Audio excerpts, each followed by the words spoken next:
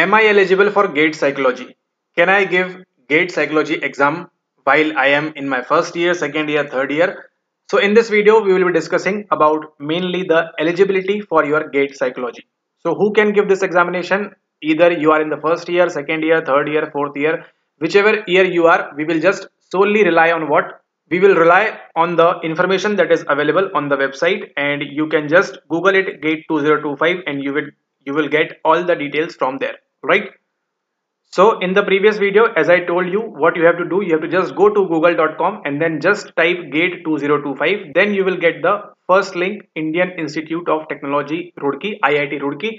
And then when you will click on this link then you will be redirected to the website of gate 2025 and there you will find all the important dates test paper syllabus application fees download eligibility criteria and all of that so in today's video, we will be discussing mainly our eligibility criteria. And in the next video, we will be discussing about what? We will be discussing about the syllabus, what it is, how it is, and how you can prepare in the upcoming next videos.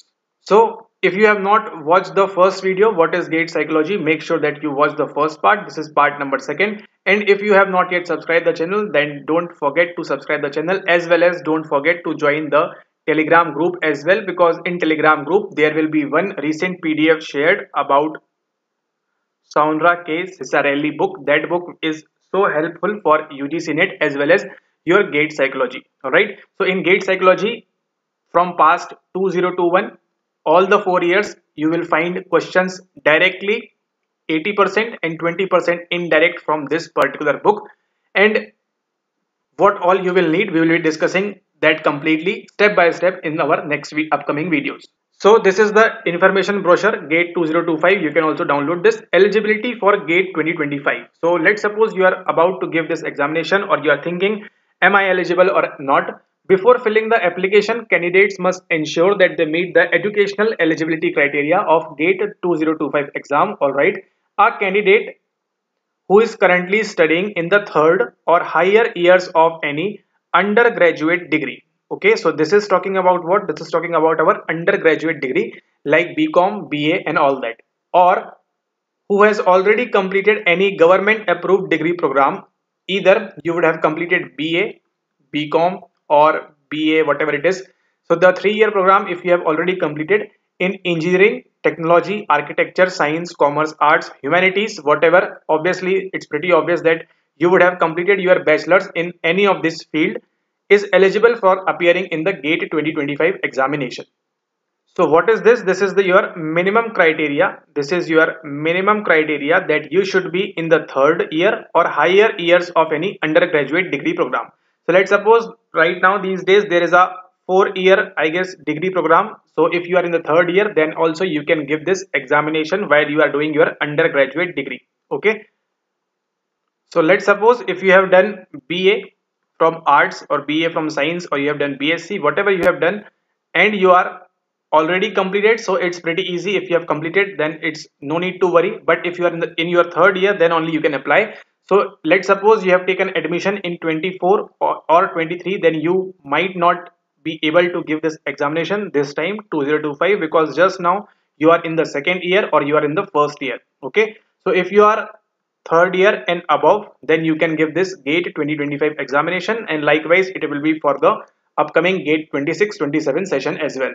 Okay apart from that what else? Disclaimer qualifying in gate examination does not guarantee admission scholarship. So it will not just if you just qualify this examination it will not guarantee your admission or scholarship admission to any institute is fully dependent on the admitting institute criteria. So basically if you are from xhc5 that is psychology then you are most possibly 90 to 95 percent aiming for what? Aiming for phd in iits okay? So they will conduct it separately and then for educational qualification similarly gate qualification does not assure a psu job. It is not guaranteeing your for this examination sorry for this job as it depends on the recruitment procedure of the concerned psu but no doubt if you have a gate score if you have a very healthy or good gate score for three years and let's suppose some vacancy or some recruitment is going on then you have a high chance of getting admitted over there. Which is the scenario which we will be discussing in the benefits video that you might not get with net and jrf okay so this job is not concerned with this net JRF thing, but this is concerned with your gate score. All right. So gate committee does not assume responsibility. All right. We are completely okay with it. And then apart from that, important thing for you is this thing note 4.2 if a candidate is pursuing any higher degree higher degree let's suppose you are in your master's first year or has already obtained a degree higher than that mentioned in table 3 table 3 what we just mentioned the graduate program that is 3 years the candidate will be allowed to appear for gate 2025 examination. So if you might be in your second year of ma first year of ma you can give it because this examination you are able to appear okay? Because they are asking for what? They are asking for if a candidate is pursuing any higher degree or has already obtained a degree so obviously you have ba degree bcom degree bsc degree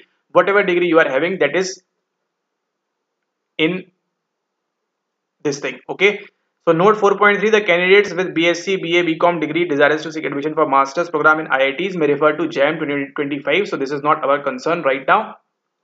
And then moving forward what else is there? So see they are mentioning eligibility criteria for gate 2025 so degree program BE BTech whatever you have done. So this is description of eligible candidates. You can check it over here. But obviously if you have just completed graduation you are done then you are very good to go. Okay so let's suppose you are doing MSc MA most probably MA students will be there. So MA you are doing master's degree in any branch of arts you would have you will be doing this and currently in the first year or higher or already completed. Okay so it's completely okay. You are eligible for gate 2025 you just have to keep in mind that you are simply just graduate. You have completed your graduation successfully and you are in your maybe masters msc so you can give this examination and you can qualify this examination very easily. So this is the thing. If you are aiming for phd and all you should aim for from iits if you are aiming for phd from iits then you should be aiming for this examination which will be very very helpful and the competition over here is very very less. In the upcoming videos we'll be sharing the data as well that how the competition is less and how if you prepare differently from others that you have a edge of clearing this examination in your very first attempt. You can clear this in your first attempt. You just have to focus on the psychology portion as well as little bit of that portion of your general reasoning and mathematics part. So you can take care of that and psychology will be dealing with it.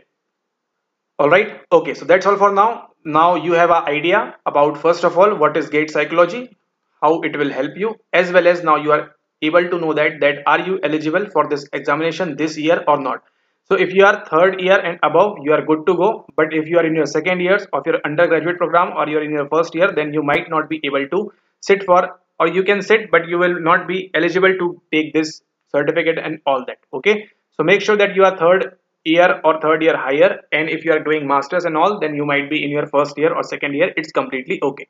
Because why? Because this gate score will be valid for how many years? It will be valid for your three years so three complete years you are full have full chance to complete this thing and your masters and all that and you can take exam you can appear for iit phd thing okay so that's all for today. I hope you liked the video. You would have understood what is the eligibility criteria, minimum eligibility criteria for this thing. If you have any doubt, you can comment down below because this is the information that we are referring from the official notification. So there might not be any other scenario apart from this.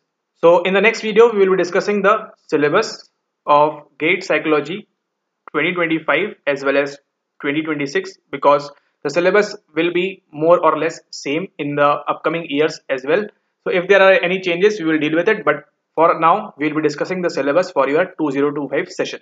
Okay. So make sure that you watch the third part as well and you follow the series of GATE Psychology Preparation Guide.